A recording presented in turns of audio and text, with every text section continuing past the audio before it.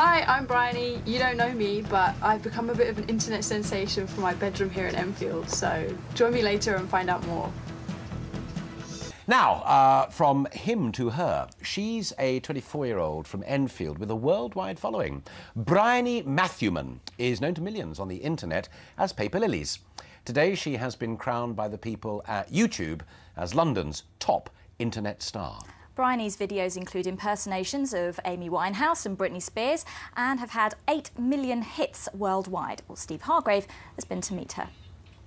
Who's that girl that makes you laugh? Paper. There's a new star here in London, seen by millions around the world, but she's not a Hollywood actress. She's the queen of the internet.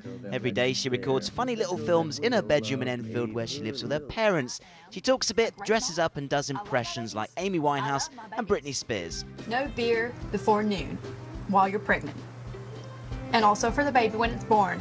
And one of her recent videos was watched by an impressive 2 million people. Yes, this is Bryony Matthewman, aka Paperlilies. Even this bloke who helps run YouTube is saying things like she's a real trailblazer. She's a real trailblazer.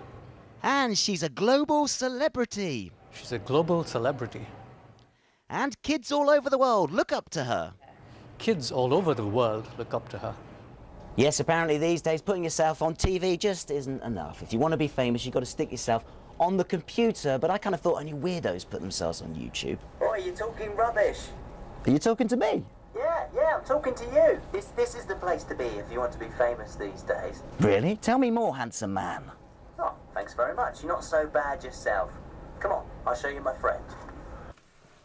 Yes, welcome to the proper, actual, real-life world of the internet television. This is where this lady creates magic on TV and puts it on the internet. And it's kind of made you famous, hasn't it, Bryony? kind of, yeah. Secretly famous on the internet. Do you find it a little bit odd that from this bedroom, which is a really normal sort of bedroom in Enfield, that, that all these people on the internet are watching you? I kind of got used to it now, but it's pretty strange, yeah. Do you feel like television is almost, I mean, obviously TV here, but it's almost like old hat, isn't it, really, that people will just watch what they want to watch when they watch it on the old computer? I think TV will still have a place in everyone's hearts, but good, good, good. I I'm glad of that. that. The internet is definitely becoming bigger, and and uh, people are getting a lot more of their information and news and entertainment from it. Apparently, there are thousands of us across the capital using the internet to mouth off, but if there's a camera sitting in the room, you can guarantee that I wouldn't miss the chance to put my ugly mug in front of it and have a go at this whole webcam thing myself. Okay, so how hard can this be? I reckon I could be an internet star too.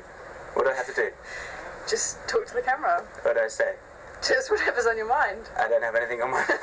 I don't like it. I'm scared. Oh, I, I'm going to leave to you. I'm going to leave to you. Oh, fine. Um, this is Bryony Matthewman for London Tonight in Enfield. That's his last report for us. We shall miss him deeply and wish him all the success in the world with a fellow broadcaster.